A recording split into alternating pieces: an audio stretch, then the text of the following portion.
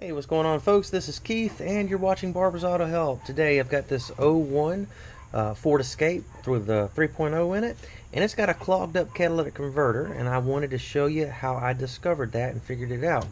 So I'm going to go ahead and crank it up and let you listen to it and see how it's running. Alright, so I got it running for you, and uh, unfortunately, I didn't bring my vacuum gauge with me today, but I hooked up the vacuum gauge to the uh, uh one of the lines going off the intake here and at idle it had about 12 inches of vacuum. Just off idle when I rev it like this. It was actually worse than this yesterday. The uh, chunks of the catalytic converter moved around and it's actually breathing better than it was. But whenever I revved it up it held it right about there. And you can hear you can hear it doesn't sound right. When I held it up about right there the vacuum went down to zero and it stayed at zero and it never recuperated and went back up. So right off the bat I suspected I had a clog in the uh, exhaust system. So I proceeded to take out one of my O2 sensors and uh, let it run to see how it ran after that to see if it would alleviate the clog. Okay, so this is the O2 sensor I'm going to take out. This is just after the front catalytic converter on uh, this side here and on the back side there's another catalytic converter uh, for the back head and then there's even another catalytic converter converter further down uh, on the exhaust pipe there. So that's where I suspect my clog is on the one back there. So I'm going to take this O2 sensor out and then run it and see what we got. Alright, so I got the O2 sensor out. And by the way, whenever you do this, hot, hot exhaust gas is going to come out with a good amount of force. So make sure there's nothing meltable uh, that's within the uh, the range of that exhaust gas that can come out of that port there. I'm not going to let it run very long.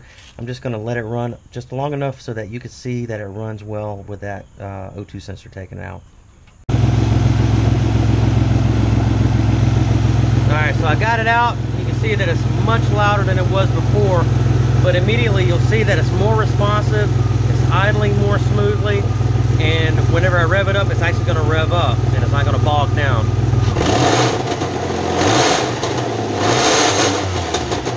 That was the rev limiter right there.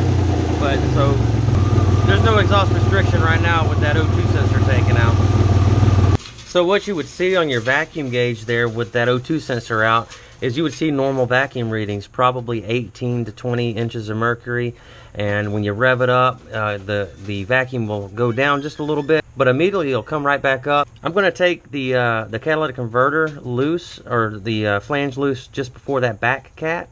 And we're going to look up in there and see what we can find. So here we are.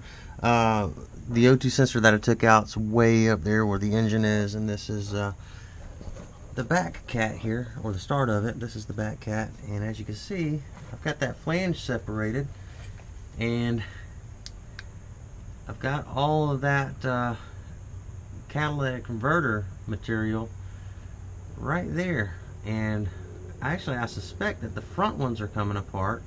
I didn't see anything on the top of the catalytic converter, the, or the uh, the catalysts on each of those front catalytic converters but uh, the bottom may have came out of them and traveled downstream here and I suspect that's probably what happened. So you see all that honeycomb material there? That is just plumb clogging up the exhaust system. Let's see if I can get this off the rest of the way here. So I got it out and all of that fell out right there.